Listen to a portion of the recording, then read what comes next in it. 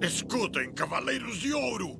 Mesmo eu sendo maligno, não há ninguém que possa proteger este mundo da invasão dos outros mundos e mantê-lo em paz. Quem deve fazer isso é aquele que tiver a maior força. Seria uma bobagem apoiar essa jovem achando que ela é Atena. Não se importam com a ruína do mundo? Escute, Saga. Se você estiver certo, e se este mundo não tiver amor e nem justiça, se ele está sob controle do mais forte e do mais malvado, eu me atreveria a dizer isto.